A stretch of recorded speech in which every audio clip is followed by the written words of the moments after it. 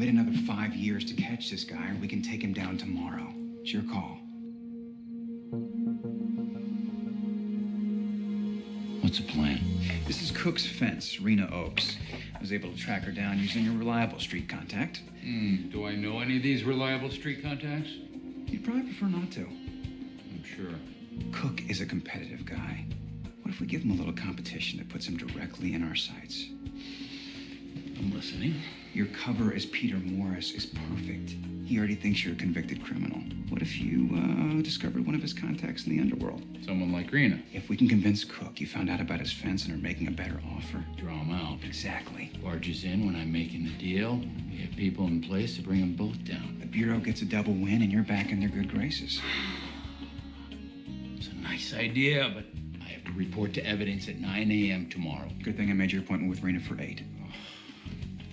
Right, we need real stones to convince Rena that I am a legitimate competition.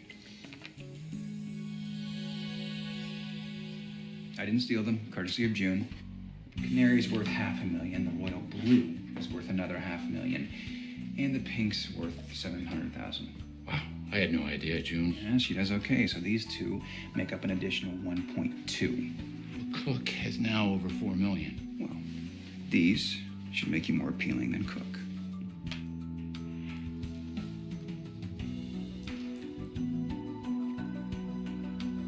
Won't cut glass. Knockoffs. The second Rena sees them, she's gonna know they're fake. She won't get to them. All you have to do is buy enough time to make sure Cook crosses town and arrives at the shop. Meanwhile, you'll make sure Rena only studies the diamonds that are true.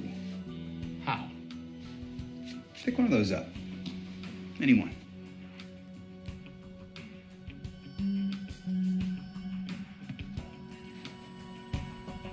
Now turn it over.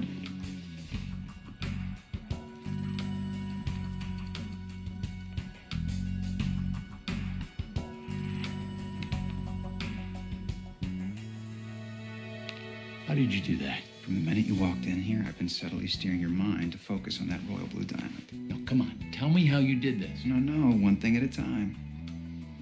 Are you in?